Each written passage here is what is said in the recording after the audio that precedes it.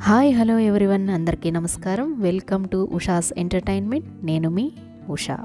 మనకు లక్ష్మి అనగానే సంపద గుర్తుకొస్తుంది. ఏ సంపద? డబ్బు అనేది గుర్తుకొస్తుంది. కానీ డబ్బు మాత్రమే కాదండి సంపద అంటే సుఖము అలాగే సంతోషము ఇక ధనము ధాన్యము ఇలాంటివన్నీ కూడా.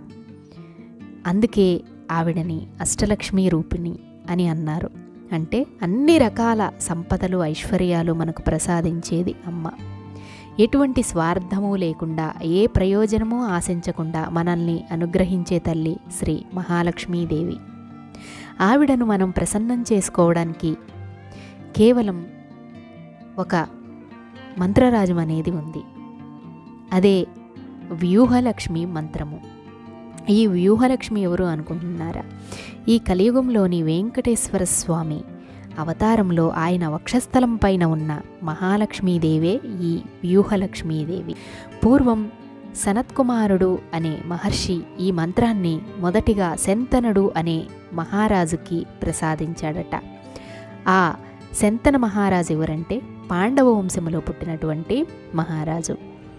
ఆయన రాజ్యభ్రష్టుడై రాజ్యం పోగొట్టుకొని ఎంతో బాధపడుతూ ఉండగా ఈ తిరుమల స్వామివారి పుష్కరిణి సమీపంలో సనత్కుమార మహర్షి ఆయనకు ఈ మంత్రాన్ని ఉపదేశించి పఠించమని చెప్పారట.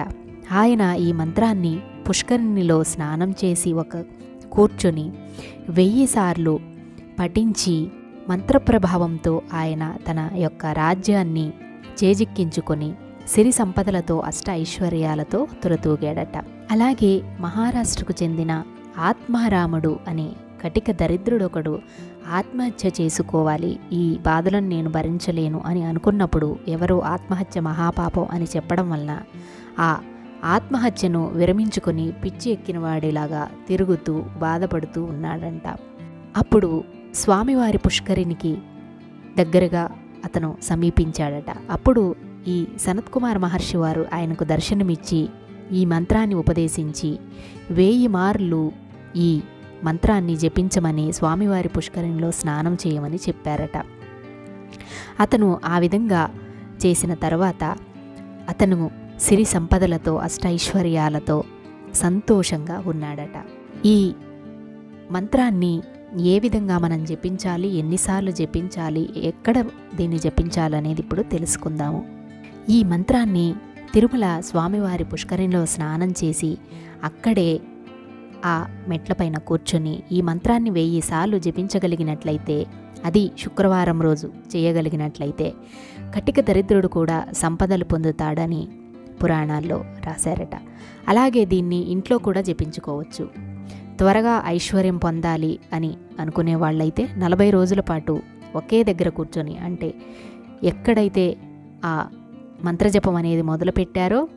అక్కడే ఈ నలభై రోజులు కూడా ప్రతిరోజు అక్కడే కూర్చొని ఈ మంత్రాన్ని జపించాల్సి ఉంటుంది. రోజు వెయ్యి సార్లు జపించాలి నలభై రోజుల పాటు జపించాలి. అలా చేయలేము అని అనుకున్న వాళ్ళైతే ప్రతి శుక్రవారం కూడాను ఏ స్థలంలో అయితే మొదలుపెట్టారో అదే స్థలంలో తొమ్మిది శుక్రవారాలు ఆ ప్లేస్లోనే ఈ మంత్రాన్ని జపించాలి. మధ్య మాంసాలు బ్రహ్మచర్యము శుచి శుభ్రతలు తప్పక పాటించాల్సి ఉంటుంది. ఇక అన్ని రోజులు చేయలేము మేము సంపద కోసం కాదు. కేవలం అమ్మవారి యొక్క అనుగ్రహం ఉంటే మాకు చాలు అని అనుకునేవారైతే ప్రతి శుక్రవారం కూడాను ఎటువంటి నియమ నిబంధనలు పాటించకుండానే ఎక్కడైనా సరే అమ్మవారిని పూజించుకొని ఈ మంత్రాన్ని జపించుకోవచ్చు. కానీ మధ్యమాంసాలనేవి స్వీకరించకూడదు. బ్రహ్మచర్యం శుచి శుభ్రతలను తప్పక పాటించాల్సి ఉంటుంది. మీకు ఆరోగ్యం సహకరించినట్లయితే ఆ మంత్రజపం చేసిన రోజున ఉపవాసం అనేది ఉంటే మంచిది. ఆ వ్యూహలక్ష్మి మంత్రం ఏమిటో ఇప్పుడు చూద్దాం. ఓం శ్రీ ఓం నమ. పరమలక్ష్మియై విష్ణు వక్షస్థితాయై రమాయై ఆశ్రిత తారకాయై నమో వందిజాయై నమో నమ. ప్రతి శుక్రవారం దీన్ని తొమ్మిది సార్లు జపించి మంచి ఫలితాలను అనేది పొందండి. విన్నారు కదా? మీకు కనుక ఈ వీడియో నచ్చినట్లయితే మర్చిపోకుండా లైక్ చేసి నలుగురికి షేర్ చేయండి. అందరికీ ఈ వీడియో యూస్ఫుల్ అవుతుందని ఆశిస్తున్నాను. మరెన్నో మంచి మంచి వీడియోలు మన ఛానల్లో ఉన్నాయి. తప్పకుండా విజిట్ చేయండి. వాటిని కూడా లైక్ చేయండి సబ్స్క్రైబ్ చేసుకోండి. థ్యాంక్ యూ మీ ఉషాస్ ఎంటర్టైన్మెంట్